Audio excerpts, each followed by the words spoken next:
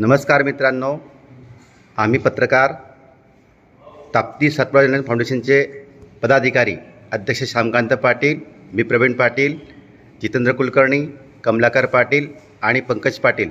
आत्ता आम्ही आलो आहोत स्वामीनारायण गुरुकुल संत निवास. मित्रांनो आज आपले खानदेश भूषण वेदांत व्याकरणाचार्य परमपूज्य शास्त्री भक्ती किशोरदासजी यांचा आज वाढदिवस. चला तर आज त्यांना आम्ही वाढदिवसाच्या खूप खूप शुभेच्छा दिलेल्या आहेत. आणि शास्त्रींशी आम्ही संवाद साधणार आहोत की ते त्यांच्या या वाढदिवसानिमित्त आज आपल्या हरिभक्तांना काय संदेश देऊ इच्छितात. चला तर आपण आता परमपूज्य शास्त्री संवाद साधूया. नमस्कार.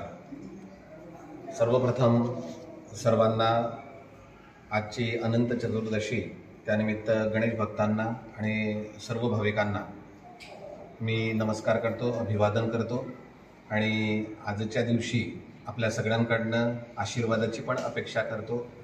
आज जन्मदिवस असल्यामुळे माझा अधिकार आहे आपल्या सगळ्यांकडून आशीर्वाद घेण्याचा. आशीर्वाद आपला असू द्या. सर्व गणेश भक्तांना पुनश्च विनंती आणि अभिवादन करून एकच सांगणार आज अनंत चतुर्दशी आहे. आज आपले लाडके गणपती बाप्पा यांचं आपण आज विसर्जन करणार आहोत.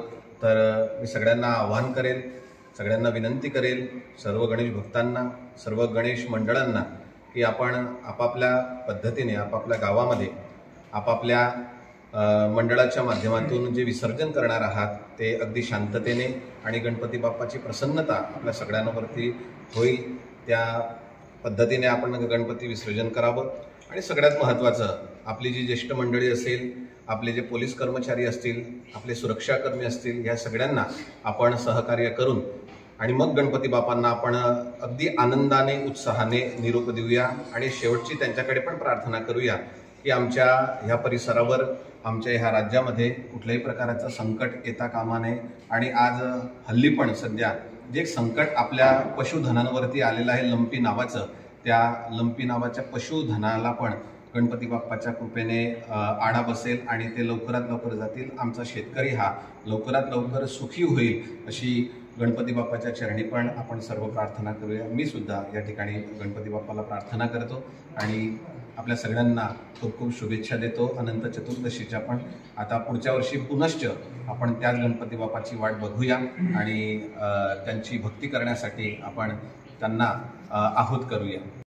सगळ्यांना विनंती करेल. आज आमच्या ह्या सर्व पत्रकार बंधूंच्या आग्रहास्तव आपल्यासमोर मी उभ उपस्थित आहे. आपल्या सगळ्यांना एकच सांगू इच्छेल की हा जो महिना असतो ह्या महिन्यामध्ये अनेक सण साजरे आपण करतो. भारतीय संस्कृतीच्या माध्यमातून भरपूर असे सण साजरे केले जातात.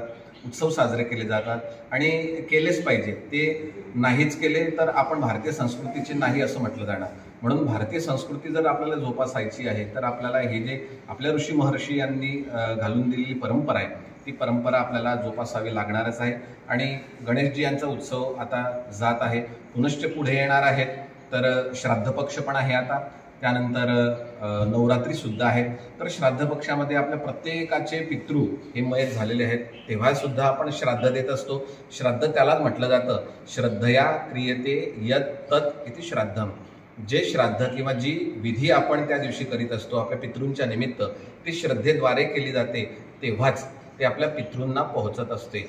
तर ह्या श्राद्ध पक्षामध्ये आपापल्या पितृंचे जेव्हा आपण श्राद्ध घालाल तेव्हा खूप श्रद्धेने आपल्या पितृंसाठी ते श्राद्ध द्या.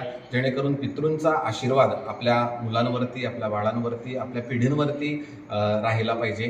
कारण पितृंचा आशीर्वाद राहिल्याशिवाय आपली पिढी ही सुखी संपन्न होत नाही अशी शास्त्र मर्यादा आहे. तर श्राद्ध पक्षामध्ये पण आपण सर्वांनी आपल्या पितृंना मयत झालेल्या पितृंना श्रद्धेने श्राद्ध द्यावं अशीही आपल्या सगळ्यांना मी आग्रहाची विनंती करेन. नंतर एक संदेश अजून आहे. नवरात्रीसाठी मी आपल्याला सांगेल नवरात्री म्हणजे मा भवानीचं एक व्रत असतं. तर नवरात्रीमध्ये पण आपण गणपतीच्या माध्यमातूनच ज्याप्रमाणे भक्ती करतो त्याचप्रमाणे नवरात्रीमध्ये सुद्धा आपण करीत असतो. तर नवरात्रीमध्ये गणपती माता गणपती देवता यांची जशी प्रसन्नता आपण घेतो त्याच पद्धतीने भवानी माता यांची प्रसन्नता घेण्यासाठी दुर्गा माता यांची प्रसन्नता घेण्यासाठी त्याच पद्धतीने त्यांची श्रद्धेने उत्साहाने आणि अति आनंदाने जर आपण सेवा पूजा केली तर नक्कीच आपल्या परिवारावरती त्या मातेची कृपा होते. अगदी उत्साहामध्ये आनंदामध्ये आपण आपले हे सण साजरे करूया. परंतु कुठल्याही प्रकारचा गोंधळ न घालता किंवा एखाद्याला त्रास न देता आपण हा सण साजरा करणार आहोत. नवरात्री असेल गणेशोत्सव असेल हे जेव्हा पण सुख देण्यासाठी ते करावेत. कारण गणपतीची अपेक्षा पण तीच असते.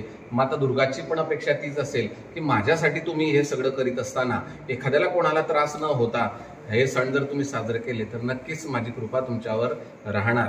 हे नवरात्रीचा गाभारा आहे किंवा नवरात्री व्रताचा हा एक मायना आहे. आणि नवरात्रीमध्ये आपण देवीच्या म- छानपैकी देवीला सजवतो मोठ्या मूर्त्या आपण स्थापन करतो आणि देवीची आरती वगैरे त्या ठिकाणी करीत असतो. तर देवी मातेच्या चरणी ही पण प्रार्थना आपण करूया की आमच्या घरामध्ये आनंदात सुखात सर्व वस्तू दे आणि तुझी कृपा आमच्या परिवारावरती राहू दे अशी देवीच्या चरणी पण आपण प्रार्थना करणार आहोत. तर नवरात्रीचं व्रतही किंवा नवरात्रीचा सणही आपण अगदी आनंदात आणि शांततेने पार पाडूया अशी पण सर्व दुर्गोत्सव मंडळाचे जे काही कार्यकर्ते असतील त्या सगळ्यांना माझी विनंती आहे. कारण तेव्हाच त्या देवीची प्रसन्नता आपल्याला लाभणार आहे. आणि असंही आपण जेव्हा जगतो तेव्हा नैसर्गिकरित्या आपल्या सगळ्यांना सगळ्या गोष्टीची आवश्यकता वाटतेच वाटते हवाची आवश्यकता आहे पवनची आवश्यकता आहे पाण्याची आवश्यकता आहे. तर ह्या सगळ्या गोष्टी आपल्या मनुष्य जीवनासाठी आवश्यक आहे आणि त्या आपण झोपल्या जोपल्या पाहिजे जोपासल्या पाहिजे. आणि जे- ह्या वस्तू जेव्हा आपण जपत असतो तेव्हा त्या वस्तू आपल्यासाठी फलदायी होत असतात. जसे की पाणी जर आपल्या जीवनामध्ये नसेल तर पाणी नसल्या कारणाने मनुष्याचं जीवन हे व्यर्थ जाऊ शकतं. म्हणून पाणी ही जीवन आहे. तर ह्या निमित्त मी एक संदेश पण आपल्या सगळ्यांना देणार आहे की आपण कुठेतरी पाण्याची सांगोपांग एक व्यवस्था आपण केली पाहिजे. आपल्या घरामध्ये जे आपण पाणी यूज करतो किंवा देवाचं पाणी असेल किंवा जे काही पाण्याची व्यवस्था असेल तर विनाकारण पाण्याची नासाडी न करता आपण जर पाणी वाचवलं तर मला असं वाटतं एक पाण्यासाठी पण एक मोठी क्रांती निर्माण होईल. आणि जेवढं होईल तेवढं आपण पाणी वाचवूया हाही एक संदेश या माध्यमातून मी आपल्याला देणार आहे. आणि पुनश्च मी आपल्याला सांगेल की आपले हे जे भारतीय सण आहेत जसे आता पुढे दिवाळी पण येणार आहे त्या भारतीय सणांच्या माध्यमातून आपण परमेश्वराची भक्ती किंवा परमेश्वराला प्रसन्न करणे आणि मनुष्याचं जीवन सुखी करणे आणि हे जे नैसर्गिक आपत्ती असते ह्या नैसर्गिक आपत्तीला आडा जर द्यायचा असेल तर त्यासाठी ह्या सणांचं साजर साजरीकरण असतं. ते सणांचं साजरीकरण आपण व्यवस्थितरित्या शास्त्र पद्धतीने जर केलं तर मला असं वाटतं आपल्या परिसरावर आपल्या पंचकृषीवर आपल्या राज्यावर आपल्या देशावर येणारं जे संकट आहे ते संकट त्या ठिकाणी नाश होत असतं. परंतु हे सण ज्या पद्धतीने साजरे करायला पाहिजे त्या पद्धतीने न करता आणि आपल्या व्यसनांच्या अधीन होऊन किंवा आपल्या इच्छेप्रमाणे आपण साजरे करत गेलो केवळ आनंदोत्सव साजरा करण्यासाठी जर सण साजरे करत गेलो तर नक्कीच त्यामध्ये आपल्याला कुठेतरी अवकृपा झाल्यासारखं वाटतं. ती देवांची देवतांची अवकृपा न व्हावी आणि हे भारतीय सण आपण आनंदाने साजरे करावे अशी आपल्या सगळ्यांच्या चरणी मी विनंती करेल अभिवादन करेल आणि पुनश्च आपल्या सगळ्यांना शुभेच्छा देतो. परमेश्वराच्या चरणी गणपती बाप्पाच्या चरणी येणाऱ्या दुर्गा मातेच्या चरणी मी आपल्या सगळ्यांच्या निरामय आयुष्यासाठी पुनश्च त्यांना पुन्हा पुन्हा प्रार्थना करतो थांबतो. जय हिंद जय भारत जय महाराष्ट्र जय स्वामीनारायण. जय स्वामी